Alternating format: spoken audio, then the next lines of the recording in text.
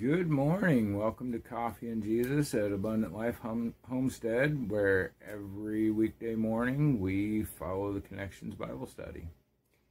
The Connections Bible Study follows the Revised Common Lectionary. And today, Tuesday, July 11th, we are reading a New Testament passage. So today's reading is going to be in Romans chapter 8, verses 1 through 11. And as we read, we write down what the verses say to us today, and we ask that you do the same. Um, include whatever jumps out at you or the main message that you hear. In this type of study, everyone's ideas are similar in some ways and different in others, but nobody has a wrong answer. Feel free to comment below with your thoughts on today's passage and also read what others have to say. Because when our diversity of thoughts come together, we all gain a better grasp of the Word. And while you're at it, if you have any prayer requests, go ahead in the comments below. Be assured they will not be ignored. So, um, the context, there isn't a whole lot of context here.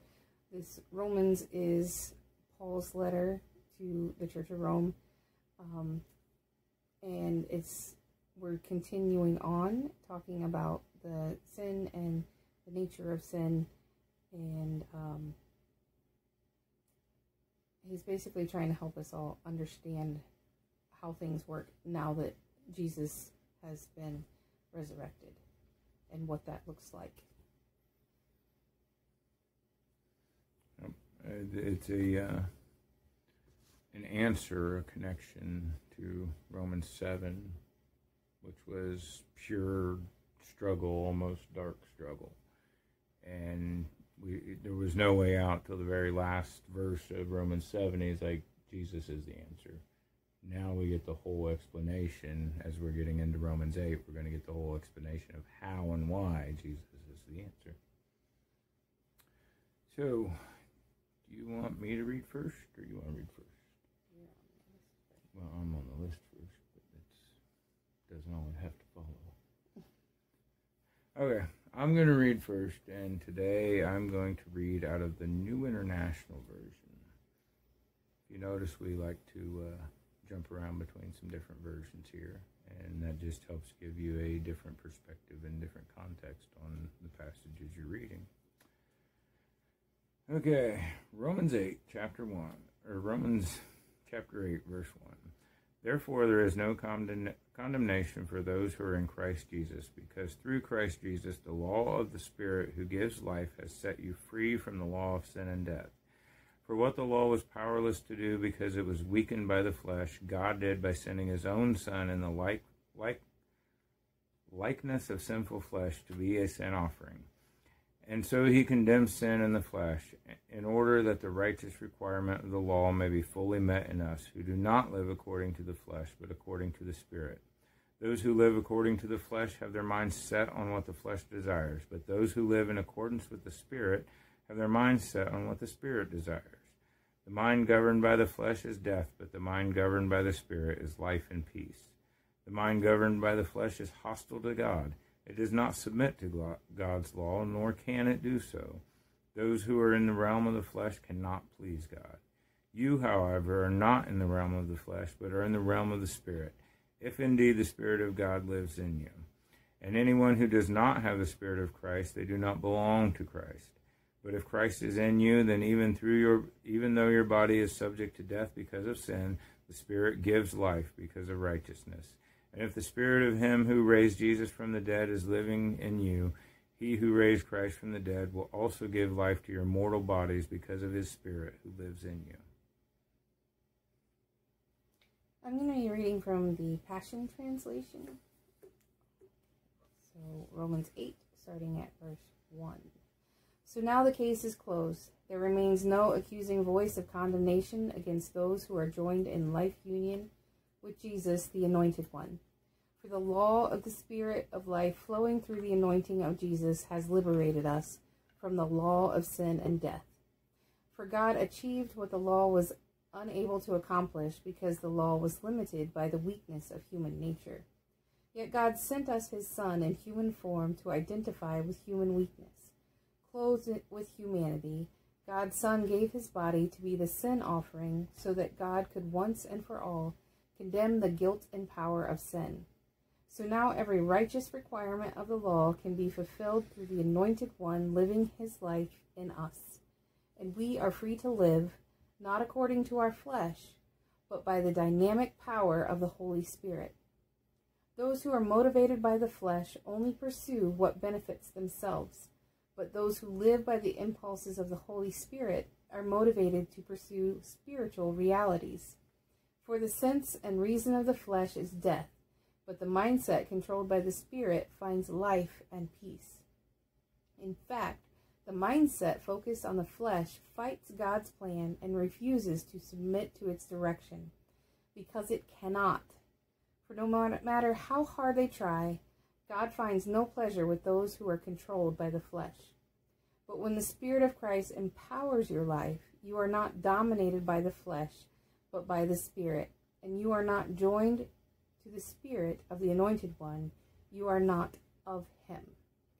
Now Christ lives his life in you, and even through even though your body may be dead because of the effects of sin, his life-giving spirit imparts life to you because you are fully accepted by God. Yes, God raised Jesus to life, and since God's spirit of resurrection lives in you, he will also raise your dying body to life by the same spirit that breathes life into you.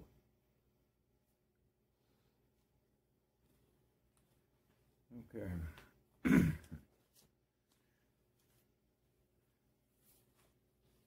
so I, I could have that. This is one that we could talk about for way too long, a lot longer than we want to spend in a day. I could have made a bunch of points, but uh, I kind of started at the top with we cannot be condemned because we are the body of Christ and he cannot be condemned.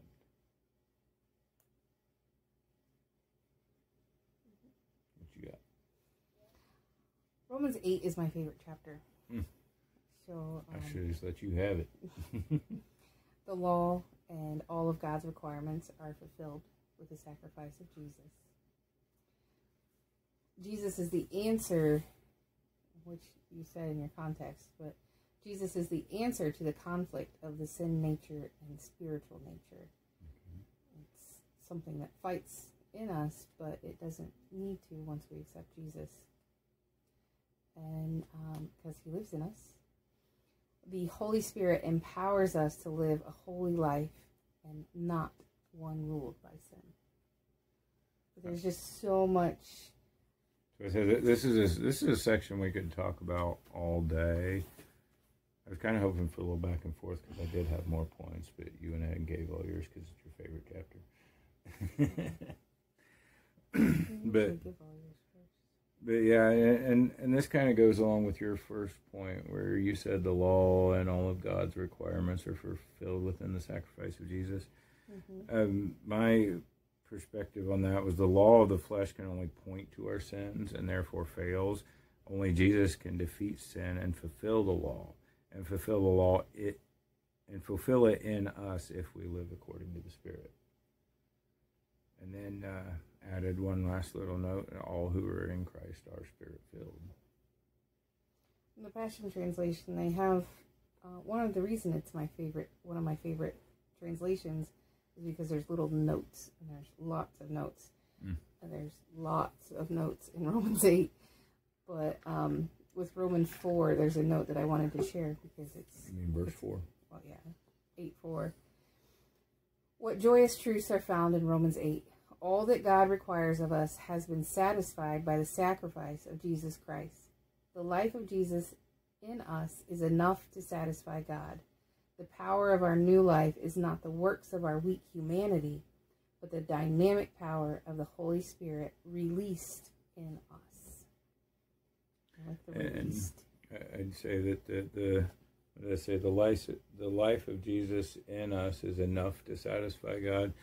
I, I would put that I would add that that's really all that can satisfy God. Mm-hmm. um, in in the scripture reading, it says the flesh cannot satisfy God. Yeah. It, it's just not possible for us to. That's why we say have to. Enough is that. Yeah. You are enough. Everything.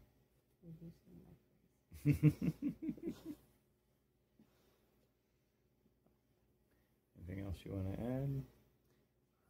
Not right now. I think we. We're only, we're only about 10 minutes in. Yeah, we continue in Romans 8 next week. Oh, do we? also, so, Okay. Yeah, I don't want to. So we, we- yeah, we don't. I guess we don't want to go too deep there because we don't want to spoil next week. Um, but there's We can go back and spoil last week. there's so much with Romans 8 that um, this chapter, there's something for so many parts of your life. You can find hope, you can find there's wisdom, there's direction, there's explanation. It's it's all there. And it's Uh, I think one of the most encouraging. Especially if you read it right after Romans seven, and you really, you really take if you're really taking it to heart. I mean, Roman Romans seven can get pretty dark. You know, like we don't have stand But it a ends chance. on a good note. Yeah, So- yeah. It, it ends on a yeah right right there in the last sentence. It ends on a good note. It's like we we can't do this. We don't. I can't do this. I don't understand. I want to do good. I'm just doing bad. There's really no hope for me. But there's Jesus. And now what does what does Jesus do? Well, th- this really continues that conflict instead instead of just being the answer for it. It mm-hmm. continues that conflict, but now it's between Christ and flesh and spirit and flesh, you know, and Christ wins. It's just because that's that's what he was here to do. And I think the biggest thing to remember is um, we're not in this alone, and um, we don't have to guess what we're supposed to do. We have the guide of the Holy Spirit. The Holy Spirit's going to guide us in the right direction, and of course, it's ultimately up to us whether we follow that guidance or choose our own direction, um, because we do still have free will. God doesn't take that away. He just gives us the tools to overcome it. Yeah, uh, you keep talking a second. There's some uh, this this gives. I read something from a Bible scholar. Uh, I think I've lost it. And when um,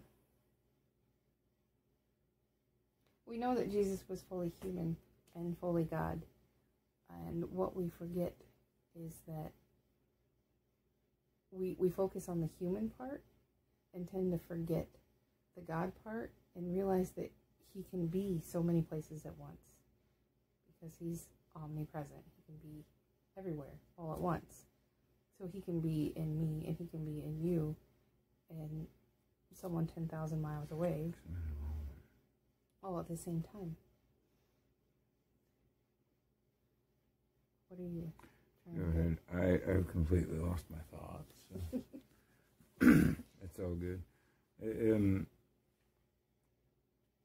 I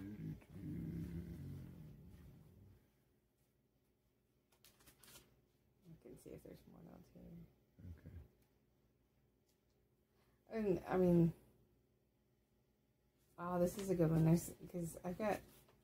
This is an awesome book. If you don't have a Bible, the Access Bible, it's a study Bible.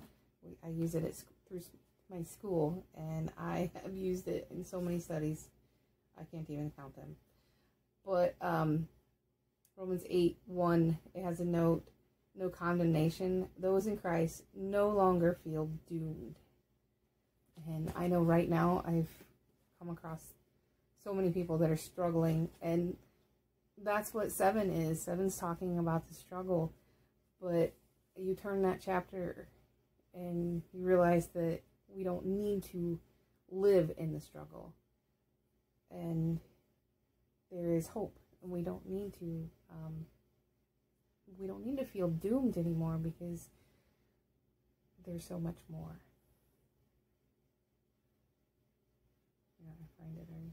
No, no. I came across something and it, it flashed across my mind a minute ago, and I, I've kind of lost it. So. Oh, this is another. It's okay. one. I should have read these looking. notes before we started. Yeah. Um, God's life giving spirit unleashed in Christ becomes a liberating law, replacing the Mosaic law that sin uses to produce death.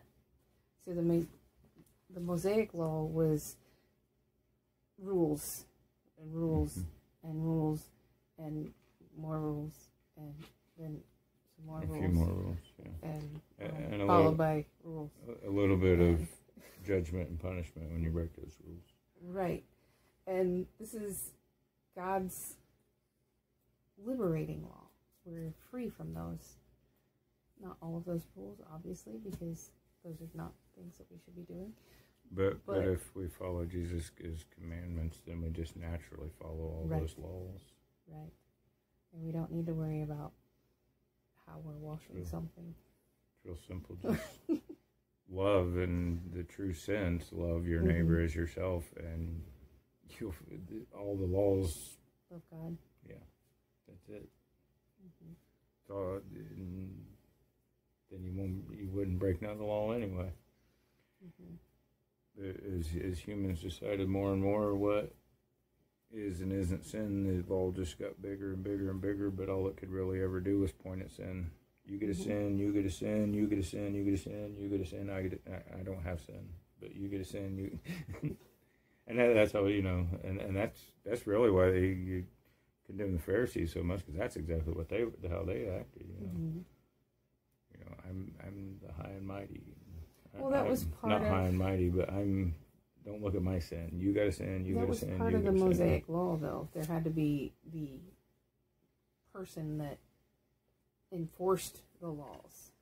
And that person theoretically was supposed to be above reproach. And they were supposed to be the closest example to God on earth, which we know is not possible.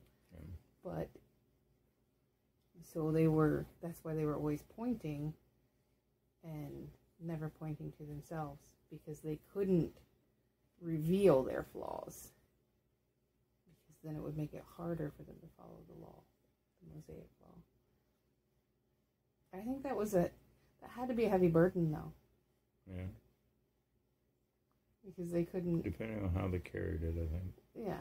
And I mean if they thought of themselves as high and mighty, but if they I'm thinking I'm thinking more of Aaron, the 1st mm-hmm. one, that it the burden of having to be perfect when it's impossible and not having someone that he could talk to, which is something that we have now.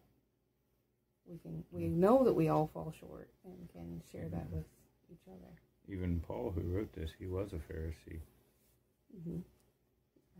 He was a he was mistakes. a good well. we, we we call them mistakes, but you look at it, he was actually a good Jew.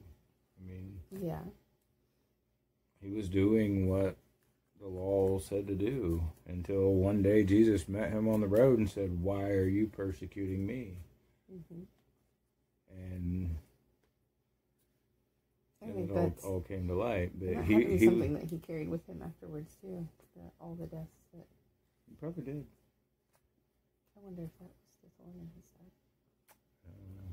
Interesting thought. Anyway. Yeah, we, we, we could talk about that all day. Subject. See, here's the path we were taking, and here's the road we're on now. We're orbiting Jupiter. That's what happens when we talk about Romans 8. I did not know you felt so strongly about Romans 8, or I'd just sat here and shut up. Romans 8. The whole chapter. I thought, like, it was later in Romans. I do really, um, 30, I believe it's 36 um, like my absolute favorite, but yeah. Okay. But no, it's chapter eight. Okay. I was saying verse thirty. Yeah. I don't remember. We will get there though, because we're going through Romans, taking a road trip through Romans this summer. Yeah. yeah. With the church. Mm-hmm. That's something if you if if you care to join our uh, Sunday service, usually preached by Pastor Neil, sometimes by Pastor Todd. Um, well, we'd have to put up a link for the Facebook page, but uh, we're going through a uh, the Romans verse every week is the focus of the sermon every week right now. Because with the lectionary, um, we're pretty much hitting all of Romans. Yeah. So this summer, or at least glossing some areas. I know we skipped a little bit there at the beginning. Mm-hmm. Some of the points that we skipped had a lot of context. Mm-hmm. Is there anything else you'd like to add to this today? No, we should probably stop. All right. I'll shut up. I said, expect next Tuesday to be a little longer too. so, um, if you are watching later, not live. Please feel free to still comment and include it, your thoughts and any prayer requests you may have. Um, we will pray now. Father, we thank you for word, your word and your encouragement and love that shines through in this chapter. It's there's so much in here, so much encouragement, and you just feel the love coming through these pages.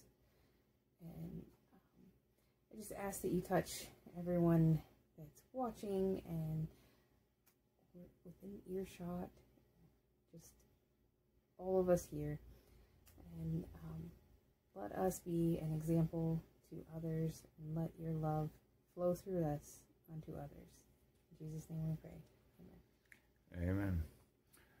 Well, we thank you for joining our Bible study today, and hopefully you stay with this Bible study. If not, we hope you stay with another Bible study, or at least dive into the Bible on your own every day because I can promise you that consistent Bible study will change your life and change it for the better.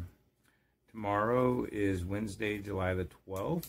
We will be reading from Genesis chapter 25, 19 through 34. Melinda didn't make a sign for that. Only had one paper. You're fired. you, fold it in half, and I then did. you've got four sides to write on. That gets you the whole week. So, we hope you have a blessed day uh, from Abundant Life Homestead, and we will see you tomorrow. Thank you.